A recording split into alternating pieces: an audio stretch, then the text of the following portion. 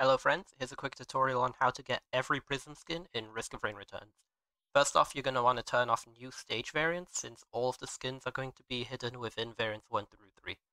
First off, we've got our Commando Prism on Desolate Forest, variant 3. If you go all the way to the top left of the map, you'll find a little blue root sticking into the ground. Uh, if you climb down it, it's actually a vine slash hidden rope, so you can get into this room right here, which is a very long and empty room. If you climb down the vine a second time though, you'll be able to get into a very small room which is going to hold your prism shard for Commando. Next up, we've got Huntress, which is going to be in Magma Barracks, uh, variant 2. If you drop down right before the lava pool, you'll be able to get into this area, which you can see on screen now. If you just hold right, there's no traps or anything like that, just hold right and you'll get to an area of a statue and there's your prism shard. Next up, we've got Bandit, which is going to be hidden in the tutorial, so it's probably the easiest out of all the prism skins to get. If you just go to the hard left, and then you'll see a hidden vine, you can climb down on the vine and just start walking to the right. At the very end, you'll get your prism skin, so probably the easiest out of all of them to get. Next up, we've got Acrid, which is going to be in Boar Beach, Ancient Valley, Variant 2.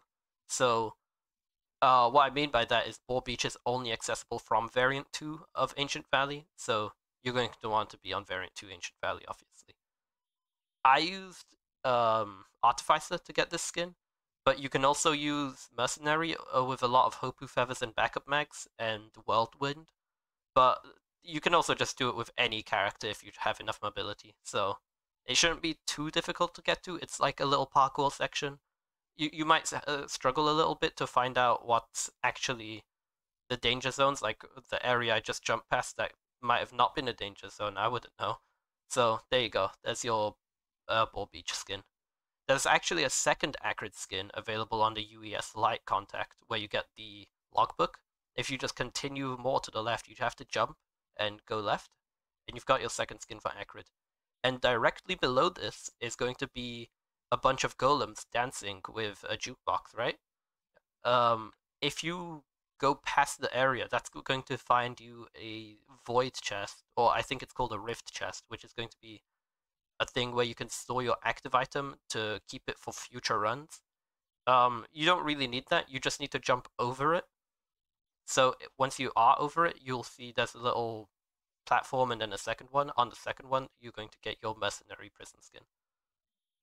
Next up is Loader on variant 2 of Sky Meadow. Uh, if you can see where that temple is, you're just going to want to jump into the temple.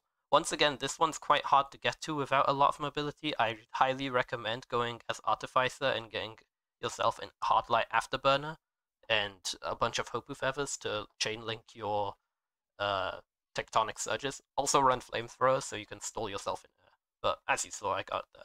Next up is going to be the strangest out of the bunch. It's going to be Chef Skin, um, which you get from killing Acrid using your second uh, special, going to be Cook. So it, you specifically have to finish him off with it. You can use it before that, it's fine. You can damage him with whatever. You just need to finish him with Cook, so you turn him into a meal. You don't really get a special meal or anything of the sort, it's just you get the achievement. So there isn't really much point to do outside of that. Next up is going to be Artificer on Dried Lake Variant 3. Uh, this one, you just have to go all the way to the left, and right here you just swerve back in immediately after. This area, I do recommend you just spam jump, because there are a couple spots where you can actually die. Um, here, I almost died to a couple jellyfish, but th that's just my own fault. Uh, you should really be clearing out the teleporter before you go for this, so just my advice before you actually go for the skin. So if you go up here, uh, you'll have to go straight here. Just keep jumping because you can fall into a hidden gap. And you're going to want to jump over this T block and drop down here. Here you're going to want to move uh, out and then swerve back in. And then just spam jump once again and you've got the prism skin. After this, we've got Drifter, Ancient Valley Variant 2, same as the Boar Beach Valley. So if you just move all the way to the right, you'll see there's a bridge here, and there's another bridge which has a snowman on it. You can actually drop down and there's some invisible platforms with gaps in them. You can jump between the gaps and there's a rope uh, underneath, as you can see, which will let you get up to the top here. But it's way easier to just use a bunch of mobility to get up. Those are all of the prism skins that are available in the game right now, but if you're still struggling to get them, or you find the method to be too tedious, here's another way to do so, which is going to be through editing your save file. So if you go to Steam, use the data, and then go to two strings of numbers, which are going to be the modification date the same as your install date for the game, you'll be able to open this file right here, which is going to be your save file. So, as you can see, I've highlighted challenge underscore unlock underscore huntress underscore skin underscore s underscore completed.